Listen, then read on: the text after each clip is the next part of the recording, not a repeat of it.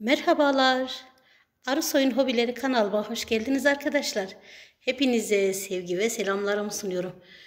Nasılsınız sevgili dostlarım, değerli takipçilerim? İyisinizdir inşallah. Mevlana diyarından hepinize kucak dolusu selamlar diliyorum. Hepinize şöyle bol çiçekli günler diliyorum. Şu güzelliğe bir bakar mısınız? Rabbimin yarattığı şu sanat eserine bir bakar mısınız arkadaşlar? Nasıl güzel. Benim parlak çiçeğim. İsmi Parlak Mustafa.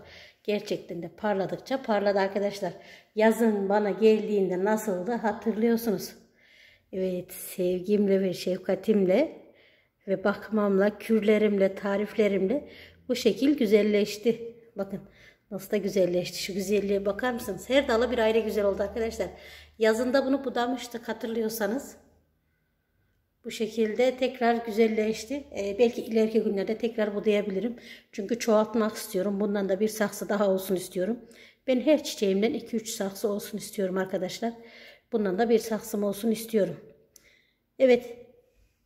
Bugün sizlere parlak Mustafa e, nasıl bakılır, nasıl coşturulur, nerede durmalı, nasıl sulanmalı ondan bahsedeceğim. Bugün parlak Mustafa arkadaşlar güneşi sevmez. Ben bunu aldığımda güneşe bırakmışlarmışmış. Hani artık ölmek üzereydi. Güneşte böyle sapsarı hani bembeyaz olmuşmuş. Bana geldiğinde bayağı bir kötüydü bu.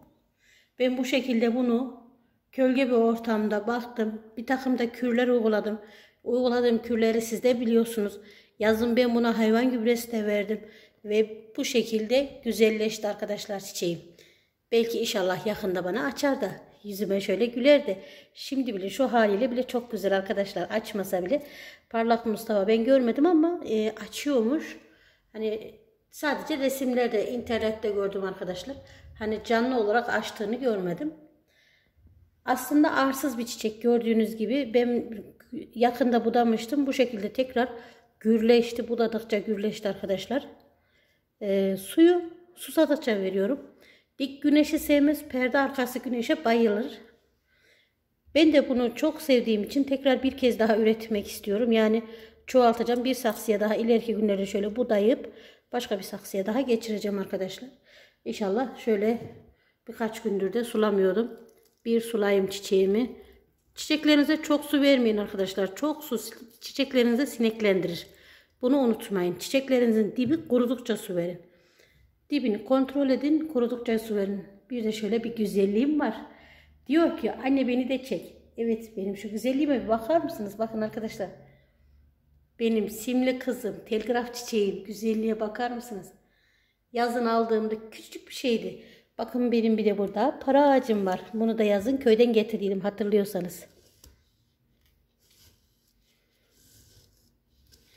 Bunun bir ismi daha vardı ama o ismini şimdi unuttum arkadaşlar. Yalnız bir ismi para ağacı onu biliyorum. Ee, bu da güneşi seviyor. Öbür evdeyken hiç olmadıydı. Buraya geldikten sonra güneşi gördükten sonra şu gördüğünüz iki yaprakları verdi 15 günün içinde. Demek ki güneşi seviyormuş arkadaşlar. Peki şunu hatırlıyor musunuz? Menekşe. Evet. Ee, bayağı bir aydan fazla oldu. Sizlerle bu menekşeyi yapraktan bu şekilde köklendirmeden ekmiştik. Nasıl olacak diye bekliyorum. Hala bekliyorum. Kurumadığına göre demek ki bir ilerleme var arkadaşlar. Yakında inşallah yavrular bekliyorum. Menekşeden de. Nasıl ektiğimi de menekşemi e, o da videolarım arasında var. Bu menekşeyi nasıl köklendireyim. Şöyle hafiften birden şöyle sulayalım arkadaşlar. Çünkü bayağı bir susuz kalmış. Sardunyalarımı e, ve e, kalonşalarımı içeriye aldım arkadaşlar. Hava soğudu artık Konya'da. E, gündüz hava iyi olsa bile akşamları çok soğuk oluyor. O yüzden balkondaki çiçeklerimi de artık içeriye aldım. Şöyle salonuma bir güzel bir şekilde dizdim arkadaşlar. Bir kısmını da pencere önlerine aldım. Burada yer kalmadığı için. Evet sizlere bugün parlak Mustafa'dan bahsettim. Çok güneşi sevmeyen, aydınlık ortamı seven, suyu çok aramayan, bu şekilde yüzünüze gülen çok tatlı bir çiçek arkadaşlar. Kanalımıza beğenmeyi, yorum atmayı unutmayın diyorum. Bol çiçekli günleriniz olsun istiyorum. Bugünkü videomuz da bu olsun. Hepinize Mevlana diyarından kucak dolusu selamlar. Allah'a emanet olun. Sevgiyle, saygıyla kalın.